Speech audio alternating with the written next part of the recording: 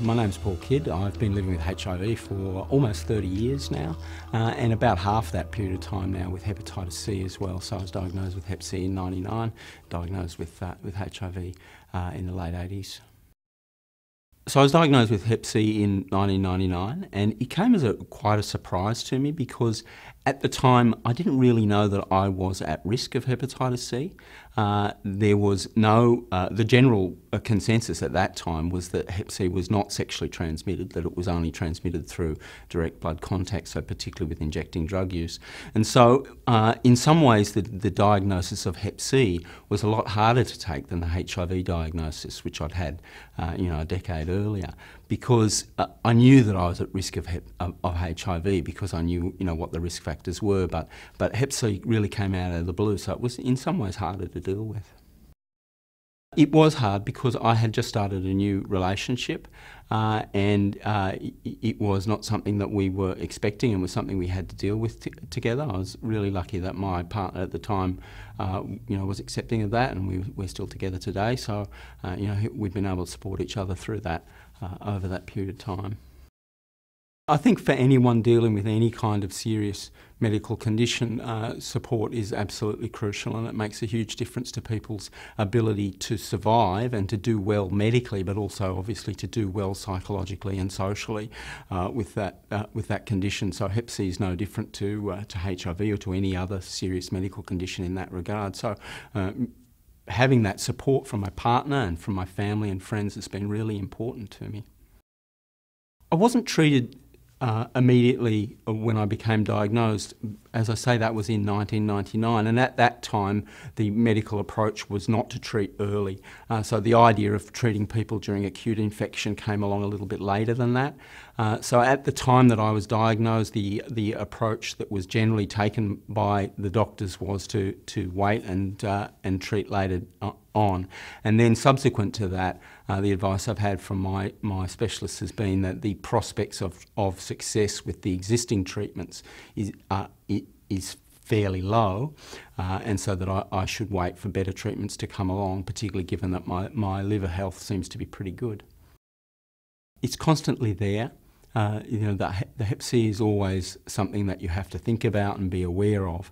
And in some ways, it's a, it's a bit more uncertain than uh, living with HIV alone because uh, uh certainly uh, in the last decade or so, living with HIV, we have a fairly uh, very good treatments for HIV and really clear kind of idea about what you can expect to have happen in the future.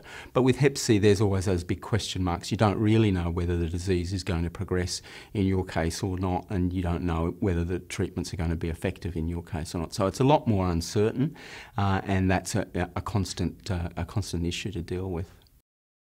Stigma with Hep C is a real issue. I think uh, obviously uh, there's that association uh, with between Hep C and injecting drug use, and obviously that's a, a transgressive behaviour, and, and and people tend to to treat you somewhat differently on the assumption that your Hep C is uh, related to drug use. But also uh, the increasing sexual stigma around Hep C that seems to be appearing within the HIV positive gay community, I think is particularly troubling uh, to see those kinds of of behaviours and people uh, talking about rejection of people with, with hepatitis C is very uh, um, hard to deal with, particularly when those are the kinds of behaviour that we've had to deal with in the past around HIV. And to see that stuff coming from HIV positive gay men, uh, it's coming up around Hep C is, is really disturbing. It's an ongoing process.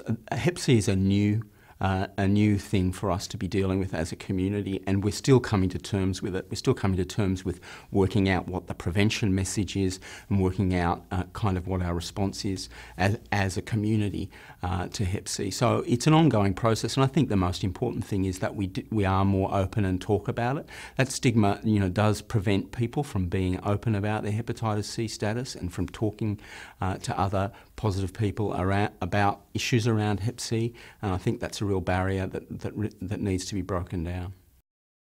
The most important thing for any kind of uh, response to a, a medical uh, condition is awareness and education and making people aware of what the risks are and what they can do to protect themselves and their partners. There's also an issue around medical stigma of hepatitis C. Uh, people with Hep C often report that they, they feel that they get treated differently uh, in medical situations once their hepatitis C status is known. And again, that's, I think, related to that association between injecting drug use.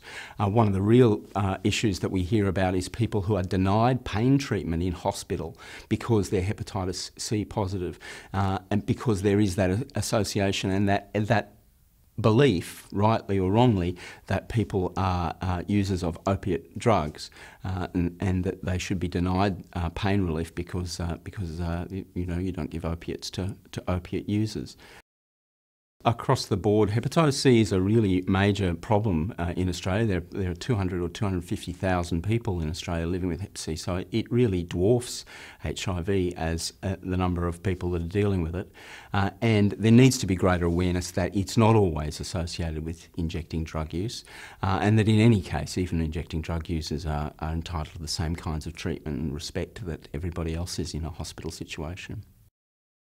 I've recently started treatment for hepatitis C, and I'm on one of the the trial of a, uh, one of the newest drugs, a, a, drug called sofosbuvir, which is an oral drug for hepatitis C, and it's taken without interferon.